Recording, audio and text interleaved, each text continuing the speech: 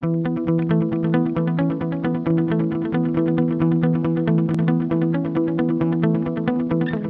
aqui a Nexo, que é uma empresa de treinamento é, e-learning, começou há 10 anos fazendo treinamento e-learning e hoje,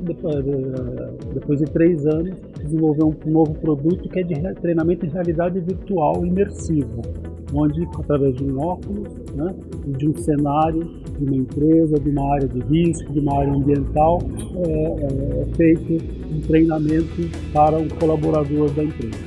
E todas as grandes empresas que a gente vê é, aparecem lá na sua missão, nos seus valores, segurança em primeiro lugar. Então a gente vê que realmente é um desafio para to todas essas empresas e a área de treinamento ela é um forte aliado para que a gente mitigue esses riscos, mitigue esses problemas e evite os acidentes. Eu considero assim, muito importante esse investimento né, que a Andrade Gutierrez está fazendo em startups, em empresas que trazem novas tecnologias, novas soluções. Embora o negócio construção seja algo centenário, né? mas assim, as soluções que vieram depois da internet, né? ou seja, alinhando conhecimento do jovem, a tecnologia, é, tecnologia de engenharia, tecnologias de software, de hardware, vão ajudar muito a aumentar a produtividade, aumentar a qualidade das obras feitas no Brasil, ou seja, vai alavancar o Brasil. E pelo que eu vi hoje aqui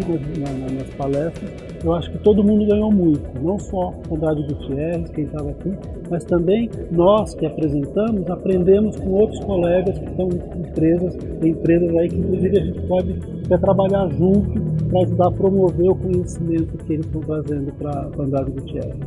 Andrade Gutierrez é uma empresa assim, que, que, mexe com a gente, que a gente vê aí as obras né, de, de engenharia, de linha de transmissão, a gente trabalhou muito tempo no setor elétrico, trabalhamos em treinamento do setor elétrico, então a gente vê que tem um fit muito grande o nosso trabalho com os desafios que a Andrade Gutierrez tem. Então a gente ficaria muito feliz né, de ser uma das empresas selecionadas para participar do da continuidade desse projeto e a gente também tem curiosidade de ver como que isso vai acontecer e esse ambiente aqui ele inspira muito a gente a buscar novas ideias. Então, queremos muito continuar o processo.